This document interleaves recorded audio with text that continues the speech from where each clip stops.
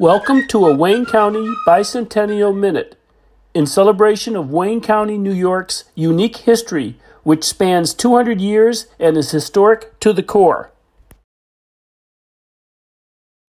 Never Sweats, narrated by Bruce Farrington. Wayne County was located in what was once known as the Burned Over District.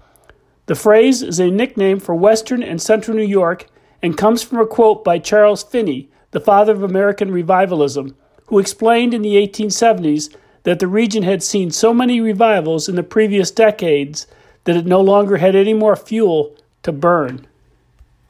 And as the religious flame lit each soul in this area to adhere to a religion, out of the Wayne County fervor came three new ones Mormonism, spiritualism, and the Never Sweats.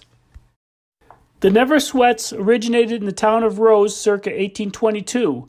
Much of what we know about them comes from a book called Rose Neighborhood Sketches that took information from the 1877 book The History of Wayne County, which tells us that the Never Sweats had been called good men and women who did not like the form and ceremonies of the church, so withdrew and held meetings in the Spunk or Jeffers schoolhouse.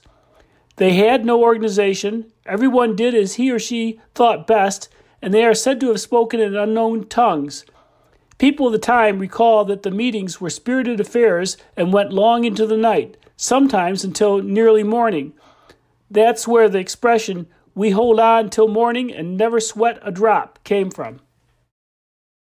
Rose Neighborhood Sketches goes on to tell us that though the Never Sweats are numbered with other defunct bodies, there are many people in the vicinity who, impressed by the peculiar characteristics of these people, do not affiliate with any church. They claim to be and are an excellent people, but when asked to what religious body they belong, the reply is, He is or I am a standalone. Until recently, no one knew the fate of the Never Sweats. This changed when Larry Ann Evans and Linda Stevenson of the Wayne County Museum began writing the play a Tea Out of Time, which included a Never Sweats woman from Rose. During their research, by a happy coincidence, they discovered a religious group called the Standalones in Wild Rose, Wisconsin, that were the former Never Sweats who left the Rose area in the 1850s. The Wild Rose Historical Society shows that at least 50 local citizens belonged to the church at one time, including such family names as Jenks, Jeffers, Pierce, Etheridge, Peace, and Darling. The Society has photos and records of these former Wayne County residents and a good amount of their genealogy. Although the Never Sweats are no longer in Rose, in 2020 the town of Rose was awarded a Pomeroy Legends and Lore marker commemorating the Never Sweats.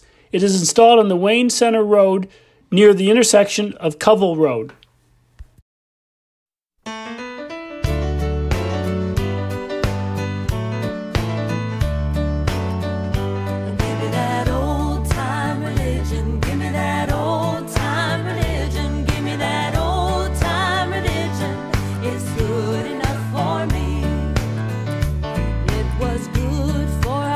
others.